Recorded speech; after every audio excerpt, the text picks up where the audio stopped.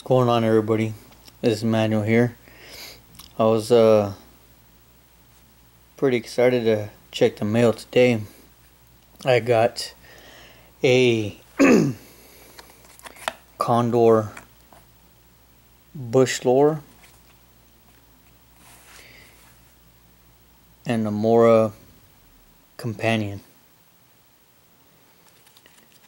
Let's check it out real quick. I'm not using a tripod right now. That's why I've got my left hand. Here is the Mora companion. Pretty neat. This is not exactly what I was expecting. I mean, I knew it wasn't going to be nothing crazy. But, uh, guess it saves weight, super light, shoot. But this out of the box was pretty dang freaking sharp. I shaved my, I don't know if you can tell, shaved my left arm with it. Pretty badass. I like this. It's pretty neat. You know. Now, I had heard or seen on YouTube people saying that the spine on the Mora Companion was not squared off for 90 degrees. Um, so I guess it wasn't doing that well as far as uh, being able to strike or shower sparks off of a ferro rod. Now, maybe I'm mistaken, or maybe it needs to be a sharper 90 degree angle, I guess. I don't know but it seems like a 90 degree angle to me.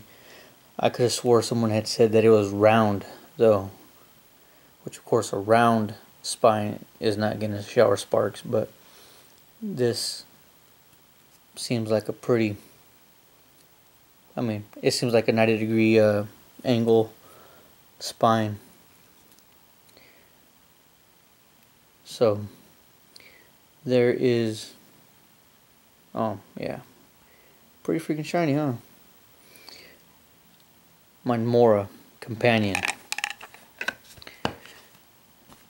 Now for the Condor Bushlore.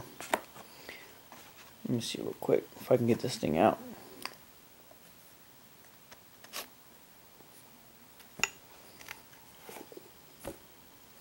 It's pretty tight.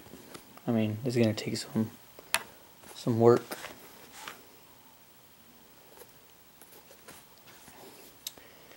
To get the uh, the sheath broke in.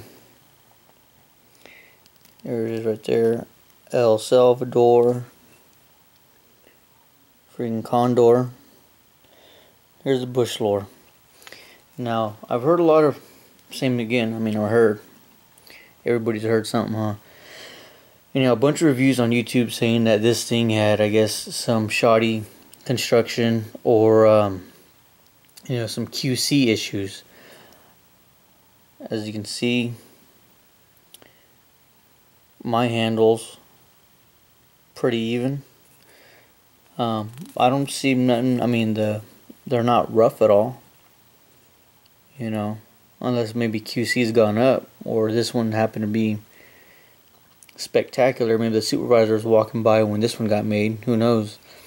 I mean fit and finish on this is I think excellent you know there's no gaps, you know, between the tang and the, I guess it'd be the, uh, I don't know what the hell it is, scales, freaking handles.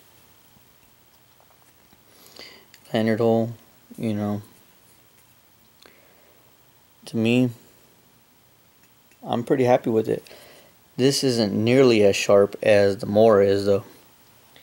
It can, it did shave a little bit of hair off my arm, but uh, not like the Mora did. This could use a little bit of probably a strop in or something, which I just barely bought some. Uh, bought went to Hobby Lobby, bought a cheap leather belt, you know, uh, belt kit for uh, Leatherworks, and um, I'll use that as my strap. And then I got some uh, the green freaking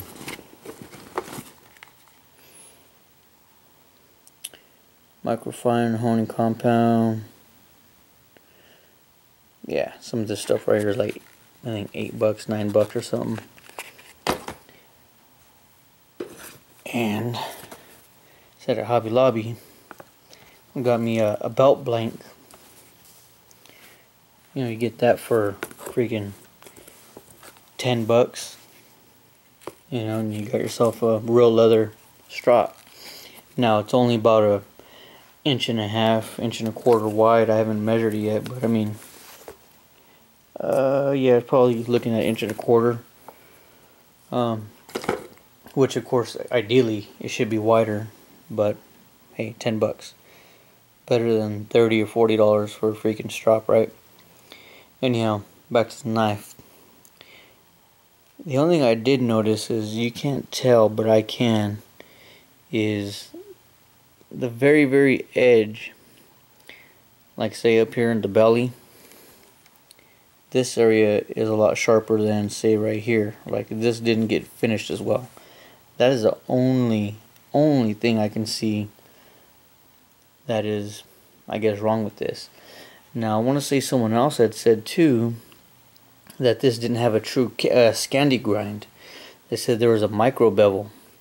Mine, at least I can't tell. Well, if you guys can. Maybe it's there, maybe it's not. I don't know. I can't really see right now. But to me, it seems like it's a full, you know, true Scandi grind. So, I don't know. This weekend coming up, me and my boy, Grumpy, we're to go camping. So, uh, I'll take both of these and along with a few other knives. I mean, I'm not totally into uh, bushcraft and all that stuff yet. You know, kind of getting into it. Wanted to check it out, which is the reason why I even bought these two knives. You know, seems interesting, seems fun, little hobby. So, uh,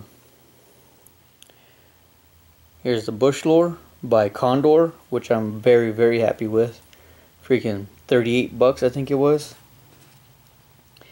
There's more right here. I think I got this for like 16 $17, something like that. Just kind of neat, convenient. Just slap that over your belt. Drain hole. Now this, I mean I've heard tons and tons about the uh, leather sheath on Condor knives. This is freaking nice. Look at that welt.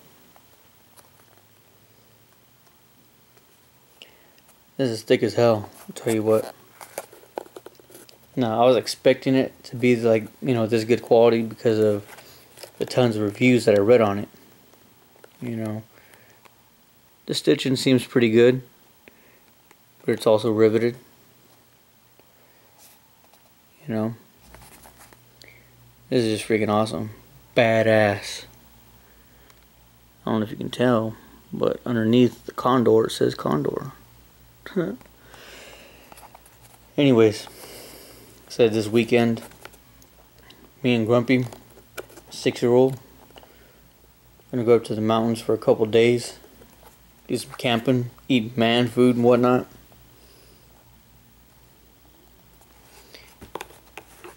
sure as hell gonna be chopping the hell out of some wood. This has actually got some heft to it right now too. This is nice. I like that. And yeah, that's not all the packaging, of course. It came with, you know, booklet. Basically just a uh, catalog. Came with this, letting you know that it's made out of carbon steel and it'll rust if you don't take care of it. Condor tool knife.